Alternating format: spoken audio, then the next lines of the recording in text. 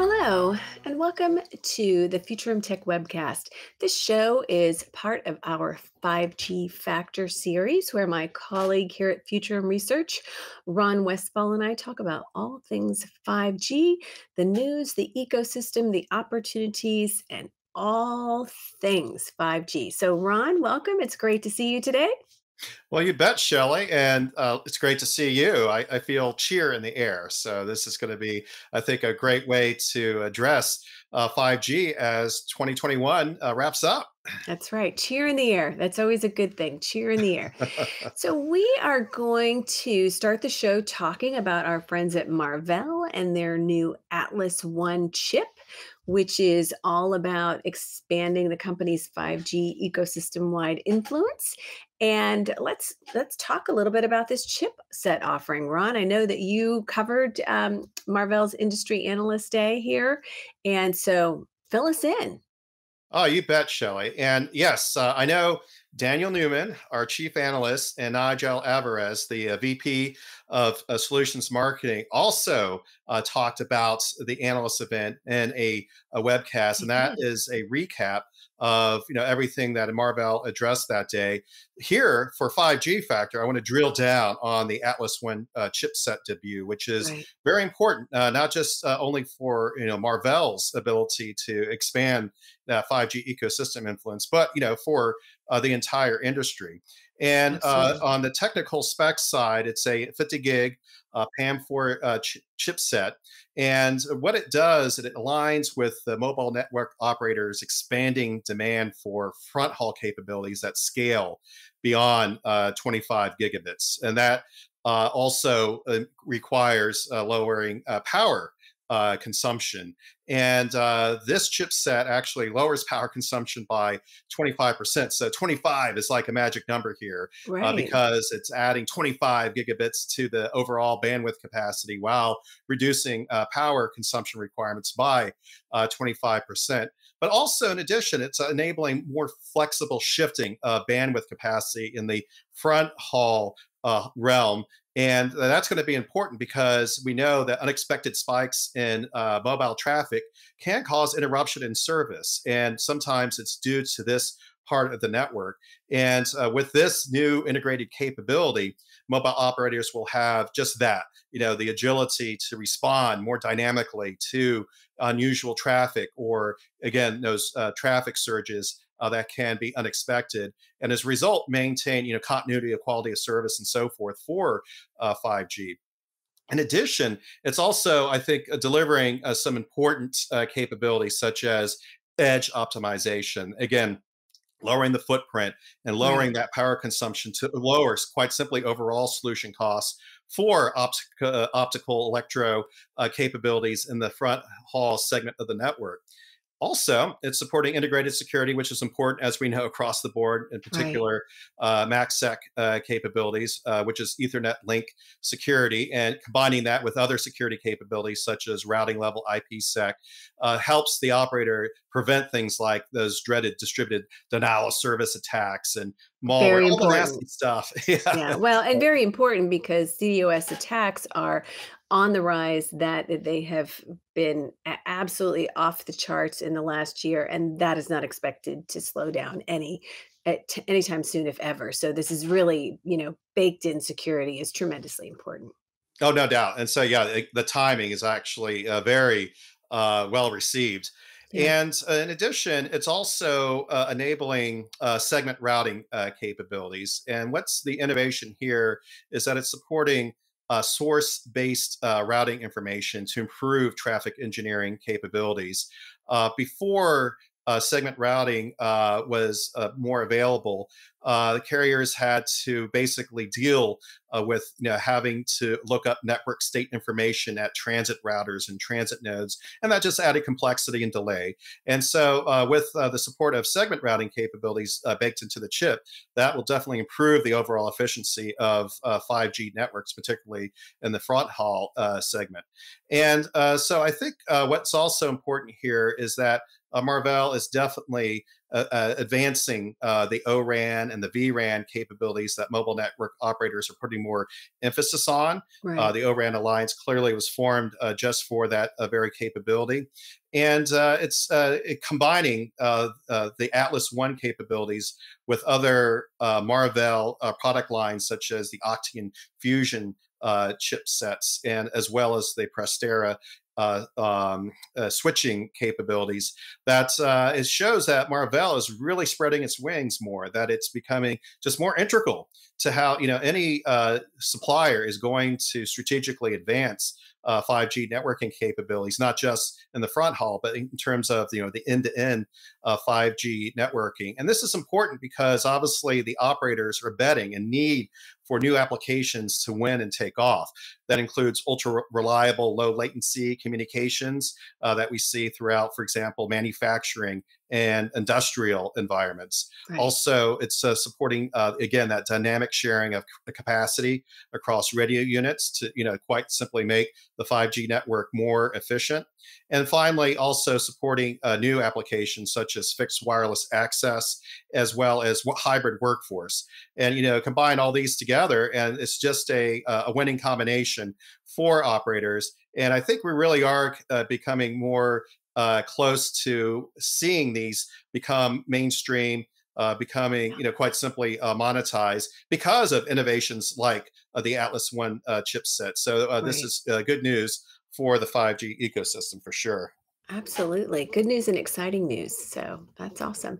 And I'll be sure and link that um, interview of Daniel's um, into the show notes here so that if you're watching or listening to this broadcast and you want to also see that conversation, we'll make it easy for you. So, we're going to transition on and talk now about T Mobile and the next phase of 5G. So, I had the opportunity earlier in the week to listen to, sit in on um, an AMA on Reddit, which is an Ask Me Anything featuring T Mobile's Neville Ray. And it was an interesting conversation. You know, sometimes those things just kind of stumble, th- you know, you're thrown across your field of vision. You think, wait, I'm going to make time to see what's going on there and what Neville has to say. So, one of the uh, key questions, there were a lot of questions that came Ray's way one of the questions that was particularly of interest to me focused on small cells and MM wave uh, strategy that some of T Mobile's competitors in the telco space have kind of bet on uh, as being the, the way to go. And uh, Ray's comments did not surprise on this topic specific to MM wave. In fact, he didn't really pull any punches. He made it clear that for T Mobile, um, they believe that mmWave is not the best way or the right way to build a nationwide 5G network that can support um, mobile applications. This is a really popular topic of conversation when T Mobile's involved. And their offerings instead rely on what they call kind of a layer cake approach. And this is a mix of low, mid, and high band spectrum and they've got some interesting things. I know that uh, right after the, the merger with Sprint, T-Mobile turned on its newly integrated 2.5 gigahertz spectrum in New York City and in Philadelphia, and um, and this 2.5 gigahertz um, comprises part of this layer cake that we're talking about. And then this also includes low band 600 millihertz and MM wave 28 gigahertz spectrum. So it truly is kind of a mix of things. And I think T Mobile has also, um, in some of their marketing messaging and that sort of thing, relied on a some layer cake imagery and messaging. So I thought that was interesting. And uh, I'm sure you have some thoughts on that, Ron. Yeah, in addition to the fact that Layer Cake is an outstanding British film, but it's also an outstanding uh, philosophy in terms right. of how T-Mobile built out its nationwide 5G network. And I think uh, Neville has a, a, valid point in terms of how right. this is played out. I think uh, if uh, you look at Verizon, they led uh, more with the millimeter wave uh, capabilities and bet right. more heavily on that. Now, what we saw earlier this year, they have subsequently bought up a lot of mid-band spectrum to, right. in essence, uh, make their uh, nationwide build out more of a layer cake uh, type well. of approach. Right. And uh, so I think it's fair to say that T-Mobile has, you know, a time to market or you know time to deploy advantage here and you know executing that strategy because what is sometimes misunderstood it doesn't mean t-mobile is uh, eschewing uh, millimeter wave or you know small cells. They have invested heavily in both those technologies, but again, it's part of that layer cake uh, blended approach. Uh, it's right. also you know technology that can help the overall 5G experience, and it's just a question of how the prioritization rolled out and you know who has i guess a more compelling strategy certainly on the consumer side in terms of enabling you know broader coverage uh, enabling uh, more compelling applications in the near term and so forth as a result right. and uh, so i think uh, the spotlight is also now on t-mobile's uh, use of N41 2.5 uh, gigahertz right. uh, 5G. Just take the words right out of my mouth, Ron. Just take the words right out of my mouth. Yeah, you know, sometimes I sometimes I have to slow Ron's roll because he gets started and then he just like gobbles up everything that I'm going to talk about. So, Ron, I'm not going to let you gobble it up. no, you're absolutely right, though. The N41, which is and 2.5 gigahertz, 5G, and nationwide carrier aggregation for 5G have been key areas of focus. And one of the things that Ray talked about in this AMA is that T Mobile expects to begin delivering NRCA by the end of 2021. And he went on to say that the next phase of T Mobile's NRCA focus will be on increasing the 2.5 gigahertz mid-band spe- spectrum beyond 100 megahertz. Is it megahertz? Megahertz megahertz. Oh, right? yeah. and he also right hit on. on, well, you know, sometimes you have all these acronyms. You're like, wait a minute, did I get that right? right? And then he also hit on the fact that this is exciting that customers could look forward to experience a significant boost in throughput. Um, and this will be available initially to customers using Apple's newest iPhone 13, and then it'll expand to other devices in the first quarter of 2022. So I thought that was really good news. And, um, you know, one thing that I wanted to uh, wrap up this conversation about T Mobile, and I know it's interesting to you, Ron, as well, but um, so, so Neville covered a, a, wide range of topics and questions, including the company's stance on Open RAN, uh, Open RAN, and then of course T-Mobile's transition to Voice over New Radio and Voice over LTE. Um, but uh, but I know that the company has had some some challenges with or some thoughts about Open RAN, um, and they're kind of going slowly as it relates to that. Yes, definitely. I, I think that's another uh, stark contrast, you know, yeah. with uh, Verizon, AT and T, at least in terms of you know the marketing aspect of uh, Open RAN or ORAN right. uh, alliance uh, specific uh, initiative, as well as uh, vRAN for that matter. Sure. And uh, I think that's refreshing because T-Mobile is basically the tonic, if you will, in terms of you know just how ready for prime time is. Open RAN technology really. And you know I think in their own testing they've come up with some you know valid uh, you know security issues uh, again that scaling uh, flexibly uh, issues and so forth. And you know, each network is going to have its distinct profiles. So some of the things that are T-Mobile concerns might not necessarily apply, you know, to other operators, whether you know here in the U.S. or in other parts of the world, such as you know Vodafone and right. uh, Telefonica, who have been you know like cheerleaders uh, for Open RAN. And, and I think it's, it's a process, it's a journey. I, I think, yes, there's the hype cycle that uh, we all are very familiar with in our industry, let alone other industries. And op- Open RAN definitely had that initial flush. You know, uh, operators like Rakuten uh, definitely uh, put, I think, some fire under, you know, making it more interesting and attractive Absolutely. to uh, talk about. And uh, it's again, I, I, believe as the standards uh, mature, as you know the technology uh, becomes uh, better optimized and so forth that invariably uh, open ran will become you know a, a, more significant mix of the overall ran market right. and uh, I, I, know you know it's been very low single digits uh, today and you know by 2025 there's the expectation it can hit you know that 10% threshold so that could be a you know a realistic expectation uh, obviously right. t-mobile probably won't be contributing to that uh, particular uh, market growth. And I think, uh, you know, uh, circling back to Marvell, that we're also noting, like, uh, yes, when it comes to, for example, vRAN capabilities, what we're looking to, to prove with our chipset technology is that it can uh, at least be on par with traditional RAN technology in terms of performance and security. And with that, uh, then all these new capabilities can really uh, come to the forefront, you know, involving uh, obviously uh, third-party application innovation being uh, leveraged, uh, being mm-hmm. able to use, you know, cloud capabilities on a much more extensive basis. And in other words, you know, being able to accelerate, you know, time to content, time to uh, market, and all those right. important um, factors when mobile operators are looking at, you know, how do they really differentiate themselves. Right. So yeah, yeah, I think it's just refreshing that you know here's you know uh, fundamental differences in philosophy, and you know, T-Mobile is I think uh, making a good case on behalf of their uh, aims and uh, on behalf of their you know uh, network uh, requirements. And uh, and it's you know playing out where uh, T-Mobile can, you know, uh, I think objectively make uh, some uh, claims in terms of, you know, the 5G foot race when it comes to at least, you know, nationwide consumer services. Uh, but yeah, there's there's still uh, a lot of journey ahead of us, oh, and oh, you know, lots of variables and, and wild cards, as we know, can always pop up. absolutely, and you know, lastly, in this conversation focused on T-Mobile, um, and also because CES coming up, the Consumer Electronics Show is coming up in early January.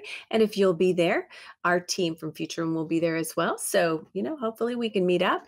But one of the things that Neville Ray was asked um, as part of this AMA was, you know, tell us about some of the the technology you're most excited about.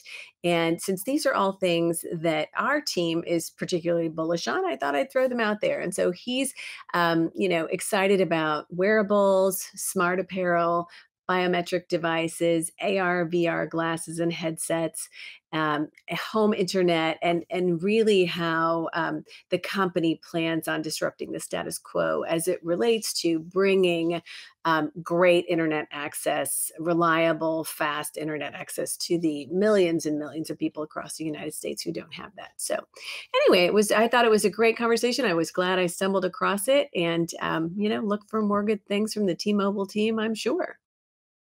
Naturally. Yes. Uh, stay tuned uh, because uh, things are heating up more as you know the 5G standalone now becomes uh, more implemented, and uh, as a result, uh, that will enable you know some of the more creative use cases that we've been hearing about right. as they finally start transitioning away from the necessary uh, you know, initial 5G non-standalone implementations, which was, you know, the blending of, you know, LTE core capabilities with 5G radio capabilities. Right. And, you know, that inherently introduced, you know, complexity and, uh, but it was necessary to really get, you know, 5G set up. And uh, so this is definitely, I think, uh, an event uh, horizon here that's coming up for the mobile industry. That is 2022. Uh, yeah. Uh, there really is. You have to really put up, you know, some, you know, uh, compelling 5G services, uh, compelling 5G use cases to really, you know, justify the investment that's occurred across the board. Certainly in terms of mobile spectrum auctions, but also investment in the equipment and so forth. but we all know that the the primary uh, money investment trail is into 5G. So yeah. it's it's going to be a solid bet, uh, certainly, uh, I would say, for the next two years. Uh, with you know, uh, for example, fixed wireless being a, a second highest priority, uh, due you know to things like hybrid workforce um, being uh, more prominent, and so this I think is just going to advance you know the 5G ecosystem is going to enable some of these innovations to really take hold. And I think T-Mobile definitely will be a key part of the mix, especially as you know new devices become uh, commercially right. available uh, in the market. Absolutely. With that, we're going to take a turn we're going to talk about new devices and we're going to specifically talk about great great positioning there ron we're going to talk about Apple's soon to be released iPhone SE 5G and really how that presents an opportunity. So, you know, the reality of it is that uh, affordable mobile devices are big in many markets and they're uh, incredibly attractive. And Olivier Blanchard, one of our analysts here at Futurum, has covered this topic quite often. Um, and so we have, a, I'll share some content related to that and really what's ahead and, and some of the key players in driving lower to mid range devices, including Qualcomm, who are doing some great things with chips. But in any event, um, the Apple's Apple's new iPhone SE 5G is newsworthy and something to kind of get excited about because um, it has the ability to attract somewhere in the neighborhood of almost a billion and a half non-premium Android users to the Apple ecosystem. And you know, the thing about iPhones is they're great, uh, but they're not cheap and they never have been cheap. and, you know, for instance, the newest iPhone 13 and the 13 Pro start somewhere between 799 and 999. I can promise you I, you know, I always kind of go with sort of not the lowest in terms of storage, but kind of, you know, I mean, I think the days of having to have the phone with the biggest storage for me anyway have gone away because I replace them so often. But, but replacing an iPhone is expensive. And um, I think there's a gigantic customer base who hold on to phones longer um, and or who are using android devices who might be interested in an apple device. And i think this is and and that mid that low to mid, mid-range category has largely been da- dominated by my mouth is not working today largely been dominated today by the likes of samsung and huawei and I think that's about to change, especially as we see the demand for 5G phones remaining strong and continuing to grow. So the news about Apple here is that they're expect the company is expected to launch this 5G SE phone in early 2022. The current iPhone SE is priced at about 399. And it's safe to say that price should remain somewhat consistent, should be expected to remain somewhat consistent with the new model. But this lower price point, I mean, there's a huge difference between 799 and 399, right? Um, but this difference com- uh, combined with Apple's trade in program, which isn't fantastic. I mean, it's okay. Um, but if you've got an older phone that you've been hanging on to, you know, you're going to get $25 or $50. Um, I just tend to hold on to them all. And then I nostalgically look back at them and go, oh, remember when phones were so little? Um, but anyway, so it could mean an entry price point of between 269 and 399 which is expected to be really attractive. So anyway, that's on the horizon, and analysts are talking about how you know not only will this be is expected to be attractive to um, somewhere in the neighborhood of gosh, I think 300,000 folks who are holding on to an older model iPhone, and then 1.4 billion low to, low to mid range Android users. So that's a big upside for Apple. Oh, I agree. And uh, yes, that is ambitious. Anytime you hear a billion, that's always going to uh, draw eyeballs. right? And uh, in this case, yeah, uh, almost you know 1.5 uh, billion Android users are the target. And uh, I think we can anticipate not every single Android user is going to convert oh, to absolutely Apple. not. Absolutely not. However, it will be disruptive as long as you know the executions reasonably smooth. And I think you put an excellent point there, uh, Shelly, uh, in terms of you know the 269 to 399 uh, price tag. Yes, we can anticipate that Android best, uh, based uh, smartphones will counter that. Right. But you know the difference between say a 269 phone and a 239 phone could be uh, not compelling if somebody's really looking for you know a new smartphone experience and right. uh, and I think this is also again fueling what we talked about 5G becoming more mainstream, particularly standalone implementations. And this will make you know an Apple uh, iPhone offering this price range uh, attractive because, as we know. Uh, Apple delayed you know, supporting 5G in its initial right. Uh, iPhone uh, offerings, and and so this is definitely uh, going to be you know shifting the competitive landscape.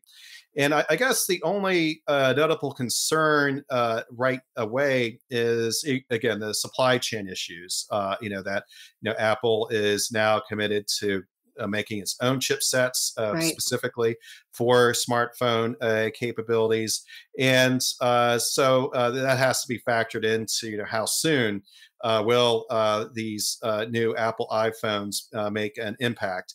And uh, so, yeah, that this is going to be good for the consumer. Yeah. It's going to you know inject more, more competition and definitely, I think, make it more uh, compelling uh, for somebody to cover to an iPhone now before you know uh, just you know looking at that premier set of customers. So right. uh, this is good. Uh, uh I'm so. looking forward to uh, you know kicking the tires on it potentially for you know uh, for the kids. You know things like that. Yeah, absolutely. Your kids are you know almost old enough. They're going to be dinging for phones. Yay! I remember those days. Um, so now we're going to wind up our 5G factor conversation with a look at Ericsson's 10 hot consumer trends report report that eh, outlines 10 high tech facilities that customers envision finding in hybrid malls by 2030, where every space becomes a networked reality and suited for what they're calling a next gen experience.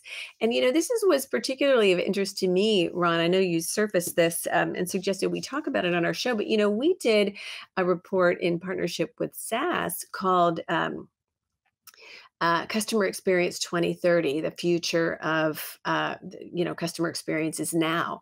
And we looked at key trends this was published in 2020 i believe or maybe 2019 and then we did a pulse survey updating it in 2020 but we looked at a lot of these trends and what um, you know customers told us they were expecting in terms of what's ahead and what customer experiences would be like. And many of those things included things like like VR and AR experiences and more experiential events and things like that. So I thought this was really, uh, I thought this was really kind of interesting. And some of the things that the Ericsson report touched on were things like um, beauty salons that used technology to digitally enhanced looks, which is something that seven out of 10 consumers who responded to this Ericsson research said that they expected and were looking forward to. And things like hybrid gyms and mental fitness centers that have things like multi-sensory personality tailored AR and VR scenery that's intended and designed to help improve mental health. So can you imagine like, hey Ron, let's go to the mall, you know? And, and this is really what what let's go to the mall. And instead of, you know, going to Banana Republic or wherever it is you go, I actually I personally head straight to Auntie Anne's for some pretzel dogs.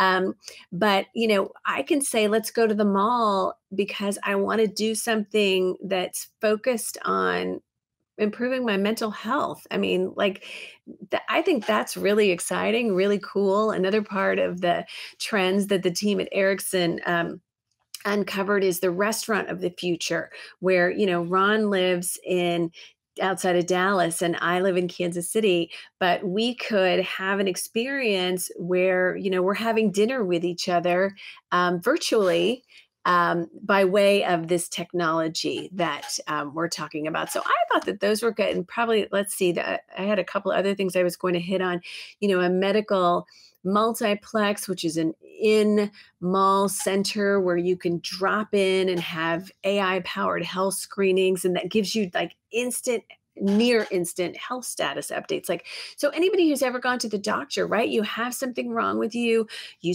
you know sometimes you have to wait for a while to see your doctor then they say oh yeah you're right you do have something wrong with you then they send you for a test you know that you have to wait a week for and then you have to wait three weeks to get back into your doctor to get the test right? So think how cool that could be.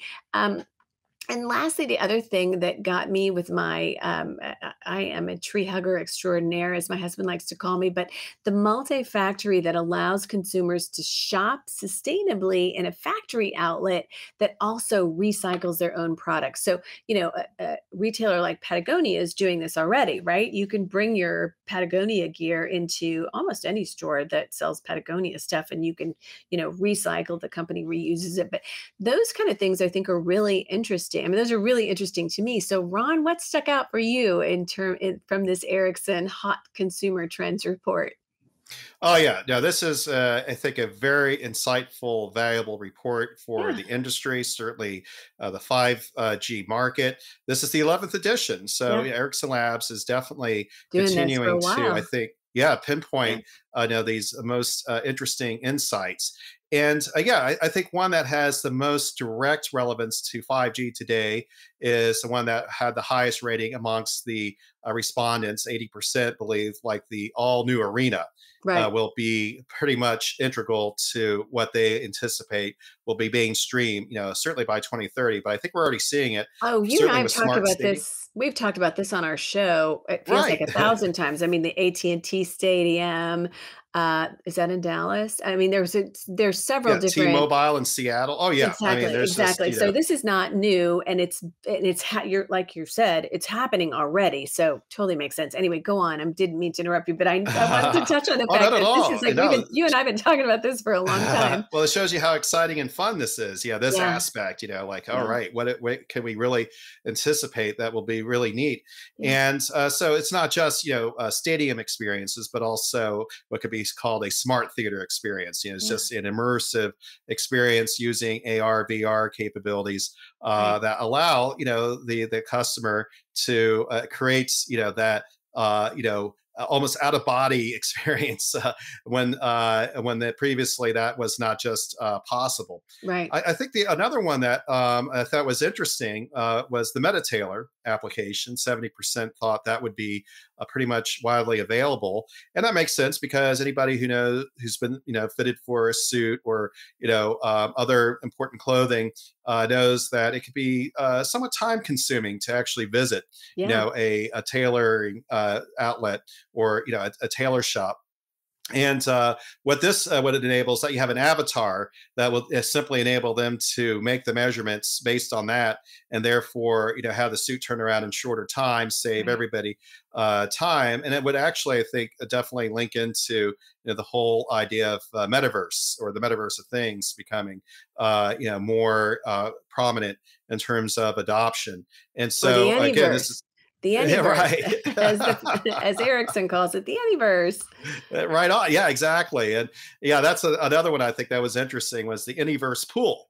Uh, Yeah, you know, where you can use an oxygenated virtual reality headset to uh, uh, actually have a zero gravity experience while you're in the pool. You know, kind of a, a split a space exploration emulation, uh, which, as we know, with uh, you know firms like SpaceX advancing space exploration, I think will become e- uh, even of more interest, you know, to the general public and and that one had actually up to two thirds support amongst the uh, uh, respondents.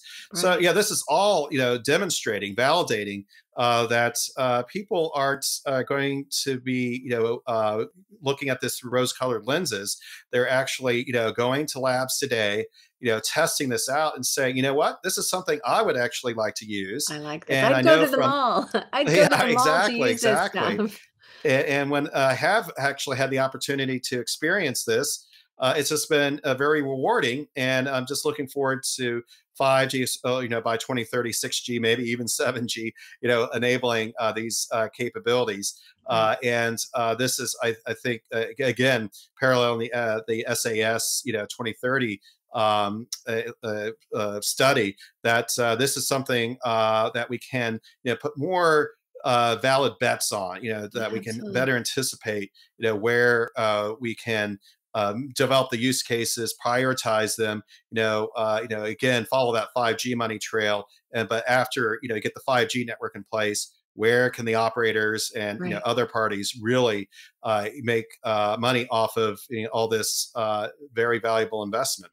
So yeah, Well, this, it's a really cool study, And it's not just network operators and vendors, you know what I'm saying? I mean, I think that what we're seeing here and you know what Ericsson has identified in this hot trends report is that you know cons- this impacts consumers too and our activities and our entertainment. And you know I don't know about in your city but in my city malls are struggling right? And they're uh, you know Oh people yeah, have shifted to um, e-commerce purchases and all that kind of thing. And you know, I go to probably the biggest mall that's I don't know 20 25 minutes away as infrequently as possible because I just don't have any reason to go there.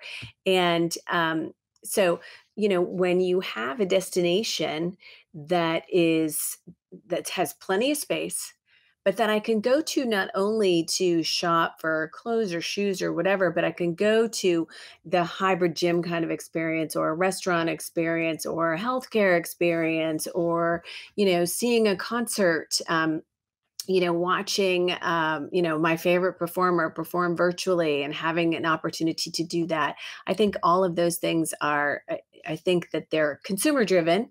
And um, and I think that we're all sort of looking for different things to do, different experiences and that sort of thing. And these will be, you know, powered by 5G.